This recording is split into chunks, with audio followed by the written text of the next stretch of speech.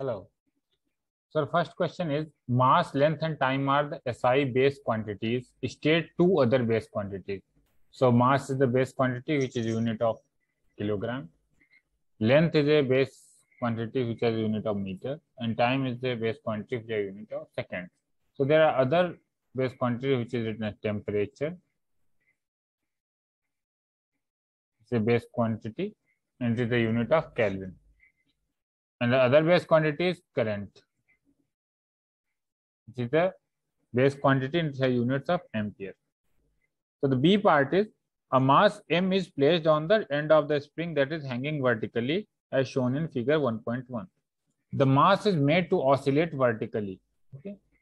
The time period of the oscillation of the mass is T. The period T is given by T equal to C root M upon K, where C is a constant and K is a spring constant.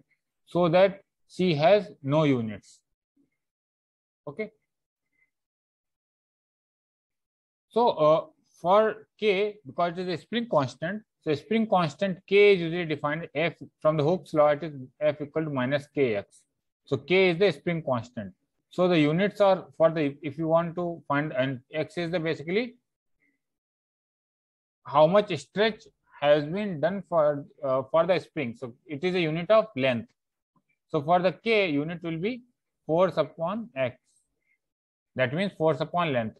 And the units of the force are basically defined from the Newton second law m into a kigra meter s minus 2.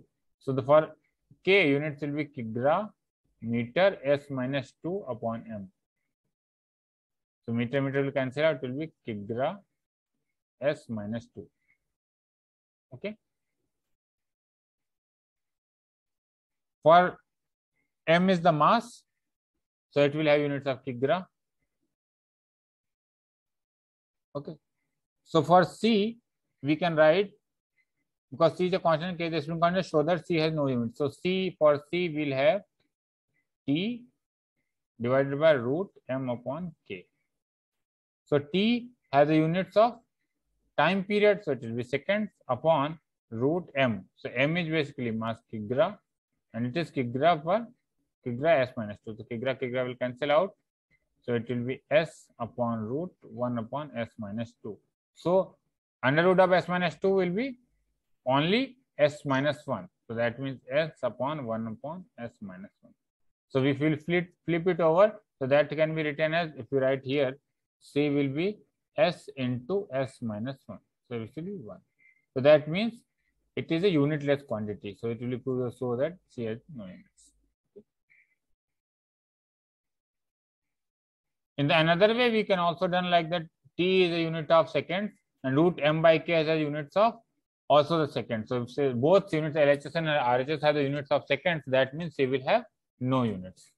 So that way we can also do. Thank you.